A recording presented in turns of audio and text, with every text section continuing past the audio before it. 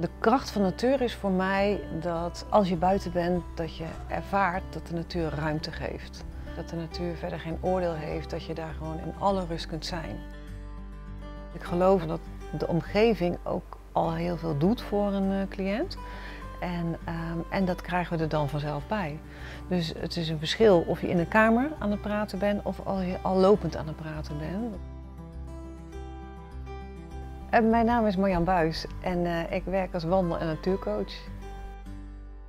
Op het moment dat wij naar buiten gaan, gaan we sowieso al in beweging. Dus dat lijf mag al meedoen. Dan komen de mensen ook veel eerder in hun gevoel. Ik kan enorm genieten van de schoonheid van de natuur. Ik ben een detailmens, dus ik zie heel veel. Ehm, dat heb ik in de natuur, maar dat zie ik ook bij cliënten. En voor mij is dat heel waardevolle informatie. Omdat ik ook lichaamsgericht werk en omdat ik dus zie wat er gebeurt bij de persoon. Ik gebruik de natuur als symbool. Dus dat betekent dat als iemand een thema heeft, een onderwerp heeft waar hij mee vastloopt, waar hij in zijn hoofd ook heel erg mee blijft worstelen, dan gebruik ik een natuursymbool om juist naar het gevoel te gaan. Dat maakt dat mensen het voelen en dat het niet in het hoofd blijft hangen. Water heeft voor mij, zeker als je de zee hebt, eh, het heen, de heen en weer gaande beweging. Het eb en het vloed ook, het komt en het gaat.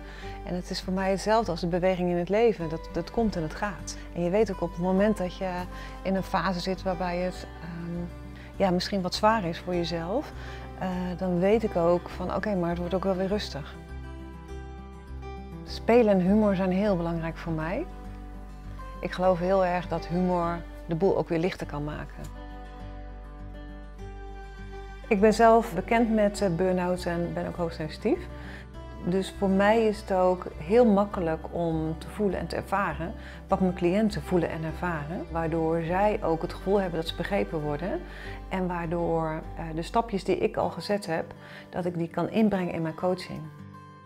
Krijg ik ook vaak terug van cliënten dat ze zeggen, eh, jij snapt mijn verhaal.